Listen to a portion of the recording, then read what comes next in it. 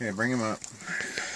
16 pound Mackinaw, first fish of the day for Eric St. Denis. Yeah. 10 inch monster stick, brown trout pattern.